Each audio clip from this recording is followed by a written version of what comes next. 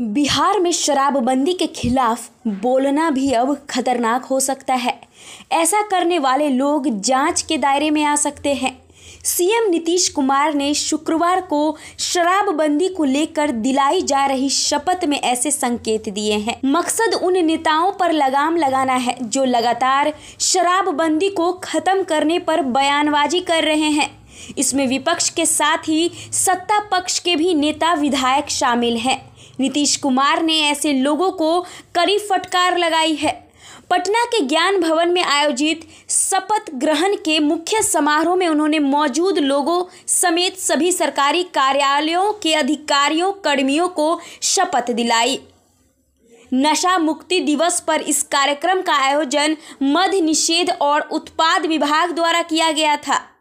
वहीं नीतीश कुमार ने शपथ ग्रहण को लेकर और शराबबंदी को लेकर क्या क्या बातें कही? आइए हम आपको बताते हैं। उन्होंने कहा कि यदि कोई शराबबंदी के खिलाफ बोलता है तो उसकी भी जाँच होनी चाहिए। उनकी भी जाँच हो कि आखिर वह किस आधार पर इस तरह का बयान दे रहा है। कुछ बिज़नेस कम्युनिटी के लोग यह कह रहे हैं कि हम तो शराबबंदी के पक्ष में हैं, लेकिन जो बाहर से लोग आते हैं, उन्हें शराब परोसना चाहिए।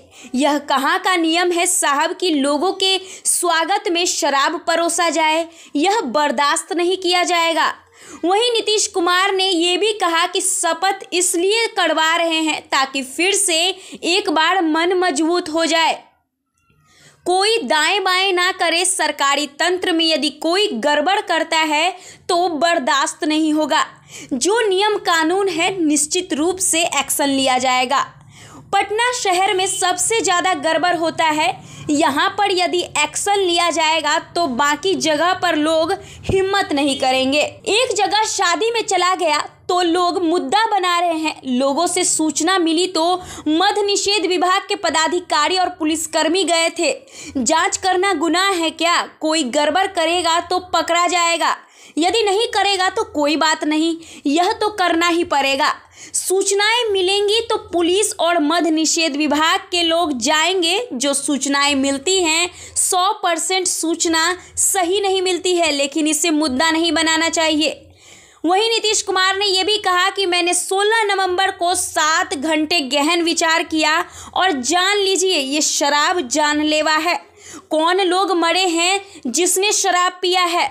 जब बंदी है तो फिर उन्हें शराब पीने की ज़रूरत ही क्या है? जब यह लागू किया गया था, उसी पार्टी के एक नेता के पास मध निषेध विभाग था। ताज्जुब होता है कि एक से दो नेता किस तरह से बोलते हैं। शपथ लिया था, अब चाह रहे हैं कि दारू पिए।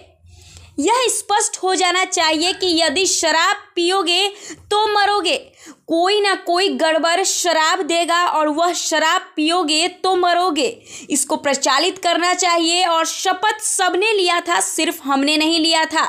सदन से लेकर सड़क तक सबने शपथ लिया था।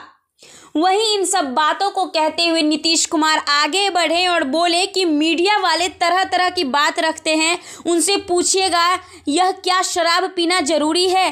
क्या शराब पिया जा सकता है? लोग कहते हैं कि अल्टरनेटिव बनेंगे। क्या अल्टरनेटिव बनेंगे? शराबबंदी खत्म करके अल्टरनेटिव बनेंगे।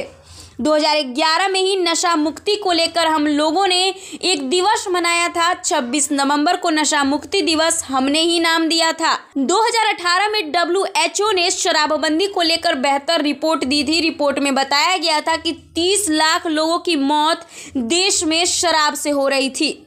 इन्हीं सब बातों का ज़िक्र करते हुए नीतीश कुमार ने शपथ ग्रहण में कहा कि अब हम लोग शपथ ग्रहण ले रहे हैं और इसे अब सुचारू रूप से चलाएँगे। एक बार और मन बना लिए हैं। अब पुलिसकर्मी हो या फिर सरकार इस पर पूरा ध्यान देगी। बने रहिए भारत लाइव के साथ। धन्यवाद। अगर ये वीडियो पसंद आई, और वह बिहार के राजनीति और बिहारियत से सरोकार रखेनी तो सब्सक्राइब बटन दबा के चैनल के सब्सक्राइब कर ली। ओजे एगो घंटी बा।